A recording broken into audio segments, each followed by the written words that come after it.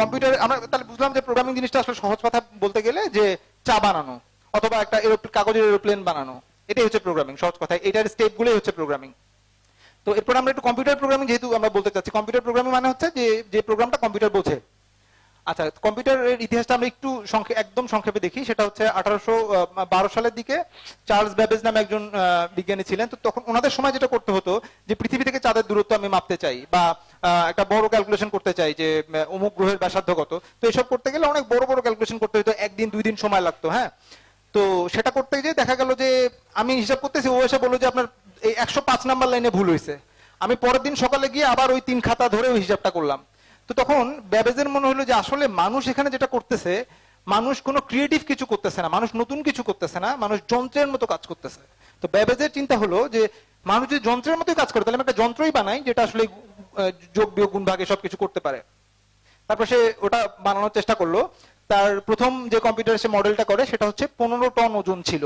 আজকে তো আমরা যে সবার মোবাইলটা একটা কম্পিউটিং ডিভাইস ল্যাপটপ ট্যাপটপ অনেক ছোট ছোট। তো পনেরো টন ডিভাইসটা সে বানালো, সেটাতে কিছু করা যেত, কিন্তু সেটার জন্য তাকে কোনো সম্মান দেওয়া হলো না এবং কোনো টাকা দেওয়া হলো না। এই কারণে দেওয়া হলো না, কারণ সে কাজটা শেষ করতে পারেনি। তো সে তার বাকি জীবনটা চেষ্টা করে এবং একজন ব্যর্থ মানুষ হিসেবে একটা পনেরো টনের ব্যর্থতা আমি এটাকে বলি, পনেরো টনের ব্যর্থতা নিয়ে সে মারা যায় আর কি। তো কিন্তু মানুষের ইতিহাসের মজার ব্যাপারটা হচ্ছে, একজন কিছু করে গেলে পরবর্তী লোকজন সেটাকে ধরে এগোতে পারে এবং পরবর্তীতে আমরা দেখি প্রথম বিশ্বযুদ্ধে যখন জার্মান সেনাবাহিনীরা যখন মিত্র বাহিনীর উপর খুব আক্রমণ শুরু করছে, তখন তারা বোমা ফেলতেছে অনেক টর্টার ফেলতেছে, তখন মিত্র বাহিনী চিন্তা করল যে আসলে কোনোভাবে এদেরকে থামানো দরকার। কীভাবে থামানো যায়?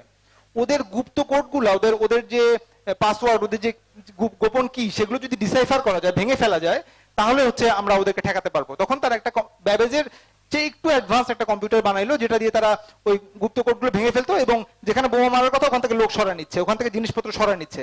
এভাবে করে মানে মানুষের তৈরি প্রথম কম্পিউটার ব্যবহার হলো আসলে মানুষ এবং সম্পদ বাঁচানোর জন্য। এরপরে আমরা জানি যে এখন আমাদের কম্পিউটার দিয়ে আমরা মোটামুটি সবকিছুই করি। ইনফ্যাক্ট আমরা বোমা এখন নিয়ন্ত্রণ করি কম্পিউটার দিয়ে, আমরা বোমা মারিও কম্পিউটার দিয়ে। যদিও এটা প্রথমে আমরা বানাইছিলাম যে আসলে মানুষকে বাঁচানোর জন্য।